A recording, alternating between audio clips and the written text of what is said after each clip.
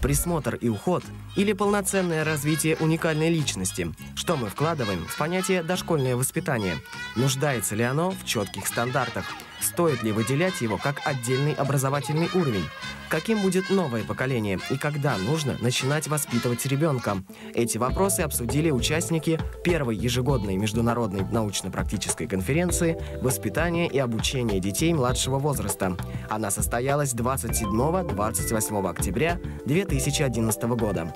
Форум приняла Российская академия наук – в конференции приняли участие ведущие российские и зарубежные ученые, специалисты в области дошкольного образования, представители федеральных и региональных министерств и ведомств, представители педагогического сообщества регионов России. Эта конференция, она а, не случайна. Она идет в контексте э, тех тенденций, которые, в которых участвовало московское образование и Э, вот на протяжении целого ряда лет. Это потребность реальная, она не придуманная.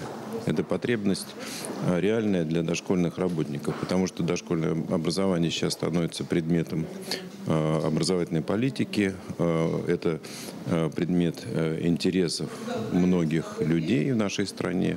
И главное, что это очень большой ресурс развития нашего общества. Вот первая международная конференция по дошкольному образованию, в организации которой мы принимали активное участие, она, на наш взгляд, совершенно необходима, потому что у образовательного научного сообщества, э, на мой взгляд, очень много уходит сейчас времени на политику, на завоевание тендеров, на э, написание различных бумаг. То есть настолько все перегружены различной работой, но не научный. На научную работу у всех остается очень мало времени, на научное, профессиональное общение. И вот нам э, кажется, что необходимо э, создавать площадки там, где могли бы ученые, специалисты общаться вне политики, вне каких-то проблем, насколько это возможно, а думаю в первую очередь о научном развитии дошкольного образования, о детях. Вот для этого проводится вот эта конференция. Сейчас э, все мы живем в условиях э, подготовки нового правового поля в области образования. Э, обсуждаем очень широко и с педагогами, и с родительской общественностью, и с общественными деятелями новый законопроект об образовании. И вы наверняка знаете, что и дошкольному образованию, как одному из уровней теперь уже общего образования, там уделено то же самое пристальное внимание. Да? То есть э, все-таки, э, как было заявлено, о непрерывности образовательно-воспитательного процесса, а непрерывность это начинается она именно с дошкольного возраста. То есть, естественно, что первые воспитатели это родители, но как только э, ребенок начиная, подходит к возрасту двух месяцев, да, он уже имеет право на то, чтобы получать дошкольные образовательные услуги, начиная с двух месяцев. Я бы сегодня выделила такие три основные принципа, которые очень важно вернуть в дошкольное образование и сделать его, собственно говоря, личностно ориентированным. Первое э, – это то, что дошкольники должны быть неотделимы от младших школьников. Э, в периодизации психического развития показано, что дети младшего школьного возраста гораздо больше похожи на дошкольников, чем отличаются от них. И все то, что ребенок приобретает в дошкольном возрасте, нуждается в его реализации. А его приводят в школу говорят, все, хватит играть, хватит заниматься продуктивными видами деятельности, надо переходить к новому общению и взаимодействию. И ребенок вольно-невольно начинает вообще все то, что он должен делать в школе, то есть учиться, обучаться, учиться, да, обучаться школьному содержанию, он начинает подменять игру и детскими видами деятельности. И он играет в школу. Он ходит в школу не учиться и учится там не учиться, а ходит туда получать отметки, общаться с учителем, играть с детьми и так далее, и так далее, и так далее. Поэтому вот то, что было 15 лет назад, возникло очень много таких комплексов детский сад, начальная школа, а сейчас их осталось считанные. Мне кажется, что это очень эффективно, причем как для детей дошкольного возраста, так и для младших школьников, потому что если мы хотим решить проблему преемственности, как вот вы передо мной поставили, да, то надо менять не только дошкольников или не столько обучение дошкольников, сколько обучение младших школьников. Я встретил здесь людей, увлеченных процессами обучения и образования. Я понимаю, что достаточно часто учителя хотят работать с эмоциями ребенка, делать так, чтобы детское сообщество напоминало семью. Поэтому я учу людей думать. Как учит нас история, мы должны ставить эмоции на второе место.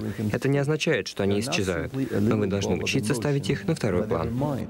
Дошкольное детство детские психологи считают периодом формирования базовых свойств личности. В это время ребенок впервые начинает устанавливать отношения вне своей семьи с миром взрослых. Детство, оно очень значимо. Как ребенок проживет это детство радостно, эмоционально, одновременно с познавательными интересами, которые у него обязательно. Э, у ребенка же ведь есть свои потребности в признании как личности, в познании, потребность в общении как с детьми, так и со взрослыми. И эта потребность в общении, она меняется в каждом возрастном его этапе. Есть поговорка такая старая, вот ребенка надо воспитывать, когда он лежит поперек, а когда вдоль уже поздновато. Вот а детство, раннее дошкольное детство, это ключевой момент э, развития человека. И здесь, конечно, ресурсы, которые вкладываются в него, очень важны. С учетом, что очень сильная э, дифференциация происходит, и культурная, и э, экономическая. Вот это расслоение, оно начинается не когда-то, а начинается сразу. Вот ребенок рождается, и уже сразу идет это расслоение.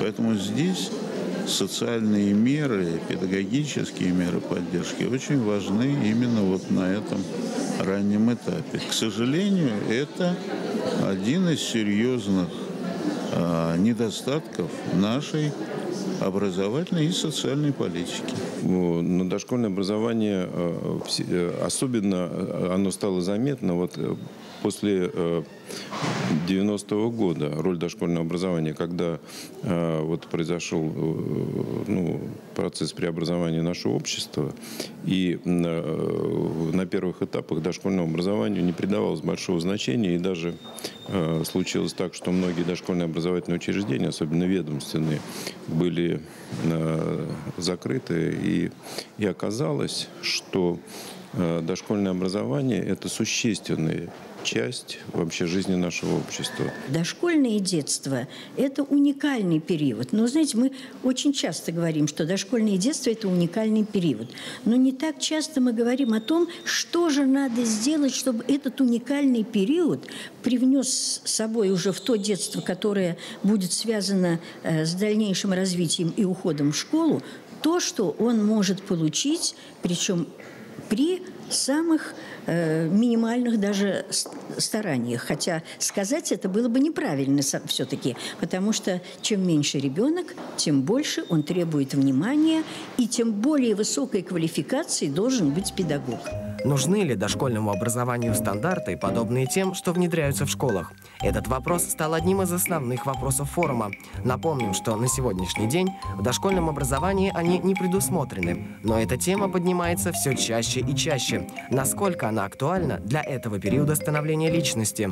Мнение мое таково, что, конечно, стандарты в дошкольном образовательном учреждении не нужны, а, потому что стандартизация – это довольно жесткая рамка, а, и введение на сегодняшний день стандартов начального образования уже высветило, всего два месяца, как они введены, но уже высветило ряд серьезных проблем, и одна из этих проблем, а, наверное, ключевая – неготовность школьных учителей, учителей начальных классов работать в рамках рамках стандарта. И я боюсь, что с этой же проблемой столкнется и дошкольное образование, хотя здесь ситуация будет еще гораздо более серьезной, потому что стандарты дошкольного образования никто сейчас не разрабатывает, их нет, не было, и на сегодняшний день их никто не разрабатывает. Если э, закон примут, э, скажем, э, как предполагается, весеннюю сессию, думскую весеннюю сессию 2012 года, мы будем поставлены перед фактом отсутствия каких бы то ни было стандартов раз, широкого педагогического обсуждения их два, отсутствие апробации этих стандартов на пилотных, скажем, регионах или в пилотных учреждениях, и мы просто будем, окажемся вне какого-то правового поля. Поэтому, конечно, введение стандартов – дело исключительно серьезное, требует серьезного подхода, вдумчивой в проработке стандартов, внедрение их, э, апробации. И, э, конечно, мне кажется, вот такое поспешное решение, оно может только навредить дошкольному образованию. На сегодняшний день существуют федеральные государственные требования, которые приняты два года назад в России. Э, это эм, требования к условиям и к программам.